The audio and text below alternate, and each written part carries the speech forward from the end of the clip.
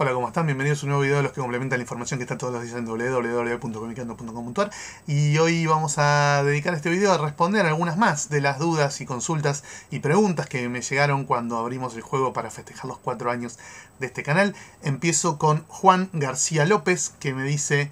Eh, por ahí es pariente de José Luis García López, no sabe. Dice, Editorial Planeta acaba de lanzar la colección de Torgal una vez finalizada la de Blueberry. Para mí es muy cómodo conseguir así las colecciones completas, ya que vivo en un pueblo a 40 kilómetros de Barcelona. Que le di, cómo me gusta. Por ahí, por toda la zona del mar, eh, no sé, Siches, Vilanova y la Gertrude, no sé qué, ya ni me acuerdo, fui hace muchos años. Pero qué lindo Barcelona y todos sus alrededores. También me hice en su día Conan y el Capitán Trueno. Mi consulta sería, ¿qué colección le recomendarías a Editorial Planeta para poner en marcha? Me pones en una situación muy chota, que es la de trabajar gratis para la Editorial Planeta. Me encantaría trabajar para Planeta recomendando colecciones y organizándolas, pero cobrándoles, no, no, regalando eh, los, los, consejos y las recomendaciones. Pero bueno, eh, porque vos me lo pedís, eh, voy a trabajar gratis para Planeta. tengo dos series para recomendar. Una que me encantaría ver así recopilada en, una, en un coleccionable con tapa dura, con buenos textos y que salga todas las semanas en los kioscos y demás, sería Valerian, ¿no? Tener una edición completa de Valerian en castellano accesible, no como esos masacotes gigantescos de norma que valen fortunas. Valerian me parece que sería una buena opción. Y otra opción muy buena sería también eh, las aventuras de Spirou y Fantasio, ¿no? Completar todo todo el, arco, digamos, de todos los autores de todas las épocas de esta gloriosa serie, eh, iniciada en 1938, que además es algo que ya está hecho, porque fíjate que en Bélgica, o Francia, no sé, creo que en Bélgica, se ha salido un coleccionable, ves que ahí tiene un pedacito del dibujo del lomo para ir completando, este es el tomo 26 que trae Tembo Tabú y alguna historia corta. Eh, por supuesto en tapadura, ¿no? Es una, acá está el listado completo de todos los álbumes de Spirou que incluye esta colección, es infinita.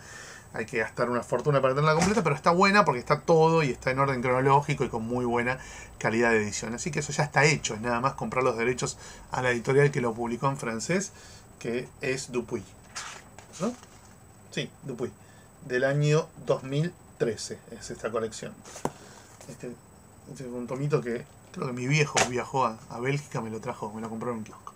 Eh, después me voy con Luciano Arienti, que me dice, vi que usas una tablet o similar para mostrar algunos cómics. ¿Cuál usás o cuál recomendás para leer? Para leer ninguna, yo leo cómics en papel o en la computadora de escritorio, que es la que uso también para grabar los videos. Nunca vi nunca me emocionó, digamos, nunca me copó leer los cómics en la tablet. La tablet que tengo yo es un iPad de estas medidas, que no sé cuáles son, no me están dando bien, hace ya bastante tiempo, así que no la estoy usando casi nada, la uso nada más por ahí para sacar algunas fotos y después pasarlas a, mi computadora de escritorio. Pero como, como, tablet en sí no la estoy usando mucho porque no me anda bien.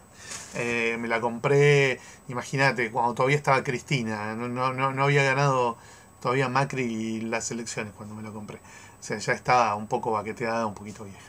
Pero me, me sirvió, ¿eh? Hoy la sigo usando, ya te digo, más que nada para sacar fotos. Después, Jonathan Blanga me dice, me encantaría un Secret Origin de Muñones. Hay poca info del tránfuga este y me genera curiosidad. Nada, ya está, ya está. Ya es gente del pasado, gente que ya murió, que está...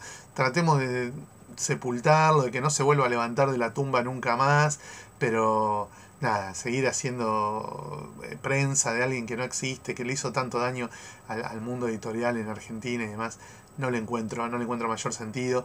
Más sano olvidarse, que estén alerta siempre, por supuesto, a los autores, ¿no? Y, para que no los vuelva a cagar, pero ya seguir hablando de semejante pelotudo, que él mismo se cavó la tumba, déjalo, ya está. Que, que, que no descanse en paz, pero que ya está, dejémoslo ahí.